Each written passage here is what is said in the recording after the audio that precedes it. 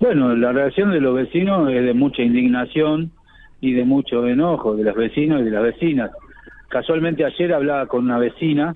que vive en un barrio humilde, el barrio Aredes, un barrio que está al costado de la, del, río, que algunas veces hasta tiene dificultades por, por, por, la crecida del propio río, que es una mamá soltera de dos, de dos nenas, que vive sola en un rancho, eh, tiene un plan social, trabaja, trabaja cuatro horas diariamente en, en un programa de saneamiento ambiental, que casualmente intenta, con las pocas herramientas que se tiene, de luchar contra el dengue porque el Estado ni provincial ni local hace nada y el, Libertador hay un problema muy grave del dengue también. Esa, esa mamá me decía que cobraba eh, 78 mil pesos de plan social. Que perdón, Enrique, perdón, Enrique, ¿cuánto cobraba de plan social? 78 mil pesos cobra mensualmente, trabaja todos los días cuatro horas en un programa de saneamiento ambiental. Esa señora, esa mamá de dos hijos, me decía que si pagaba la, la, boleta de luz, se quedaba solamente con dos mil pesos, porque le llegaron 76 mil pesos en la boleta de luz. No es la única, no es el único caso.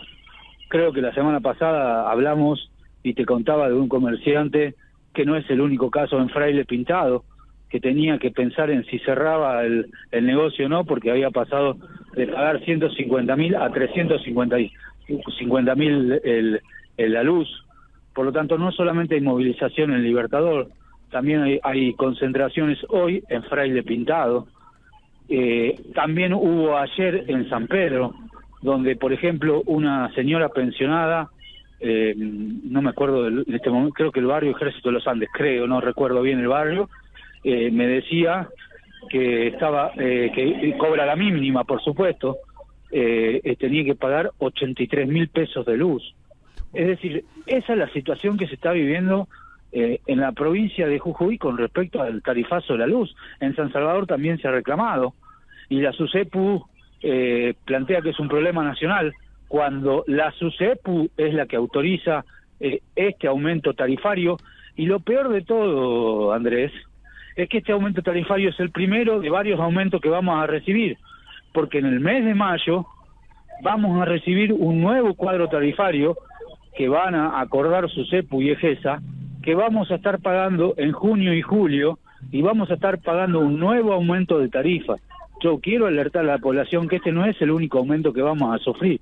Y el problema es que estamos sufriendo una, eh, aumentos despiadados en la tarifa de la luz, aumentos despiadados en la tarifa de gas, que mucha gente está sufriendo el aumento de la garrafa, porque hay muchos barrios que no tienen gas natural, y entonces estamos eh, en una situación donde evidentemente o se come o se tiene luz y eso no se puede no se puede vivir así cuando estamos hablando de un servicio público esencial para la vida que es parte de las necesidades básicas. Entonces eh, la, la indignación que hay en el pueblo no solamente del interior del ramal del Libertador sino de toda la provincia por la situación que se está viviendo, me parece que el gobierno, si no toma nota y no toma medidas como, por ejemplo, el congelamiento de la tarifa, el, la retrotraer la tarifa al, al mes de, enero, eh, la suspensión de los cortes, cosas que han hecho otras provincias.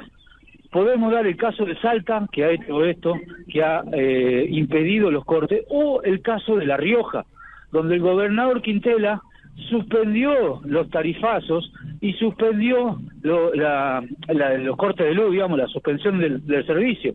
Por lo tanto, se puede hacer, existe la jurisprudencia y solamente es la voluntad política del gobierno de Sadir Morales y la voluntad política de una SUSEPU que parece más no un ente controlador, sino un ente que ayuda a EGESA a, a no invertir y a seguir cobrando los tarifazos. Y por otro lado,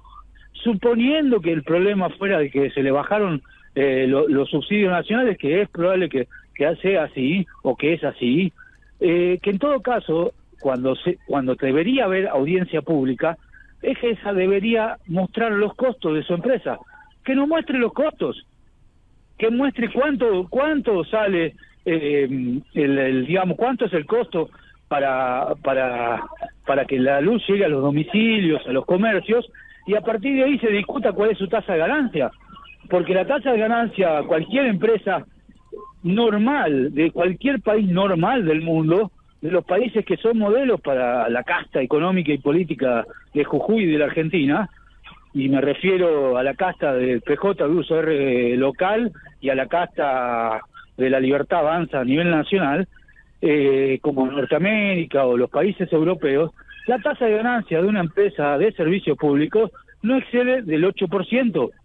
Y aquí en Jujuy sabemos, por los convenios, por los contratos, por muchas de las audiencias públicas, que muchas veces la tasa de ganancia excede el 20 y llega hasta el 40% de eh, la, su tasa de ganancia. Ahora, profesor, eh, nosotros lo escuchamos atentamente y la verdad es que vemos que el pueblo, los vecinos, todos se movilizan. En algunas localidades se consigue algún gesto para que se llegue a sancionar en los consejos deliberantes, alguna expresión para que la legislatura se, pueda tomar o, la provincia pueda revertir la situación. Pero lo que no vemos es otro gesto de la política a través de los intendentes. En, en otros momentos trabajaban a través del foro, había, bueno, algunos distintos nucleamientos donde eh, se unían para gestionar a favor de cada una de sus localidades. Hay un silencio tremendo en ese aspecto y están viendo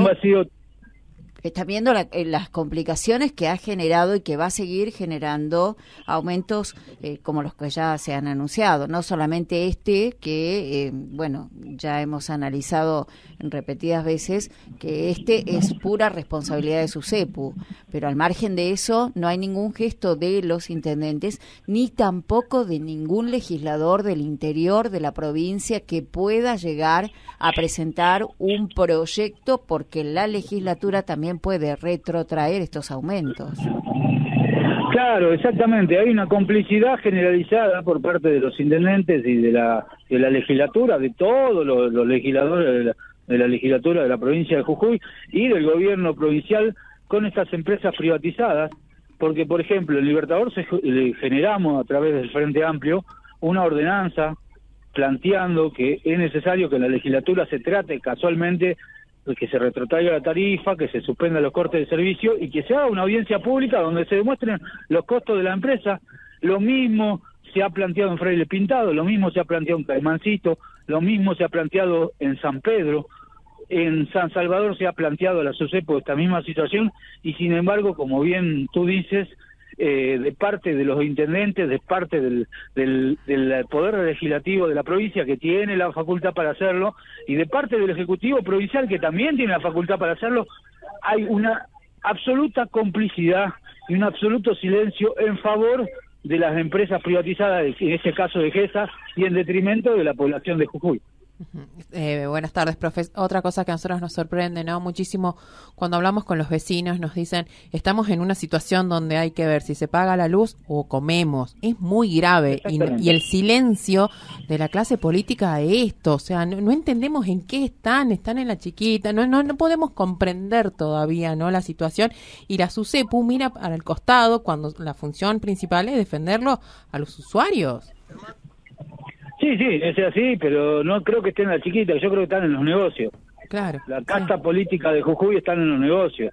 Y me refiero a la casta política, me refiero a la UCR, al gobierno provincial y a sus legisladores, al PJ y a sus legisladores. Están más preocupados en aumentarse los salarios y la libertad avanza y el, y el PJ los sueldos de senadores, en acomodar familiares están más preocupados en mantener los negocios eh, de los hoteles, del tabaco, de la de, los, diarios claro. y no están preocupados o de la salud y no están preocupados por, por lo que pasa al pueblo jujeño. Profe, en algunas localidades, cuando hablábamos con los vecinos, dicen de que en el caso de que corten el suministro, iban a cortar la ruta, la ruta perdón, por ejemplo, en el Talar, y hay otras localidades que decían que iban a, a tomar esas medidas extremas. Allí en Libertador, ¿qué dice el ciudadano de allí?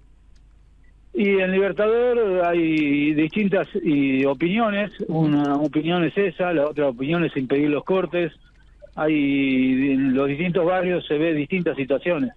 La verdad que por eso digo, esta situación está llevando a una confrontación social indeseada, porque ¿quién puede desear que, que, la población tenga que optar por, por tomar medidas extremas cuando tiene que eh, tener luz o comer? Digamos, la verdad que nos están llevando a una situación horrible. lo que les decía, los casos que les comentaba eh, testigos, digamos, de algunas localidades, expresan eso, que la gente está o tiene que decidir entre, entre comer o pagar la luz.